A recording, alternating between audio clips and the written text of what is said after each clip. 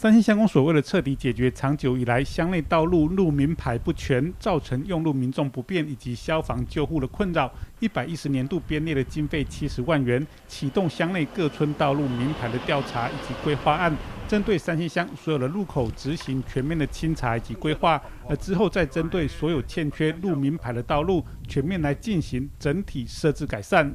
呃，三星乡应该是阳关平地乡面积上宽一个乡镇。啊，路路名这路标啊，更加是三乡多年来的一个困扰。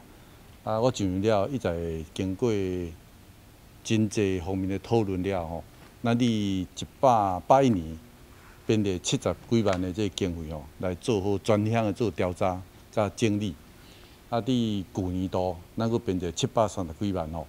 来从这整个全三乡路名牌做一个一次到位。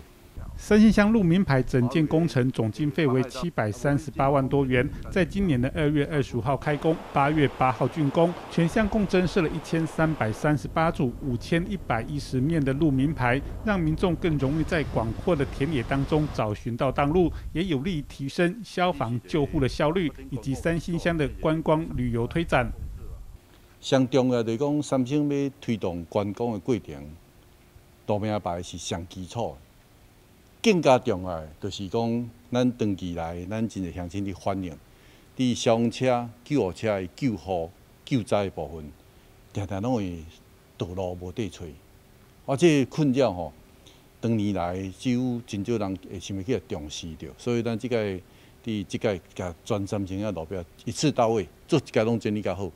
吼，咱拢总设了千几个新的这导标柱。啊，开了五百几地，啊五千几地这导那个导标这名号号牌，所以讲咱伫今年已经整个完整啊。所以未来三星除了救灾、救护、消防，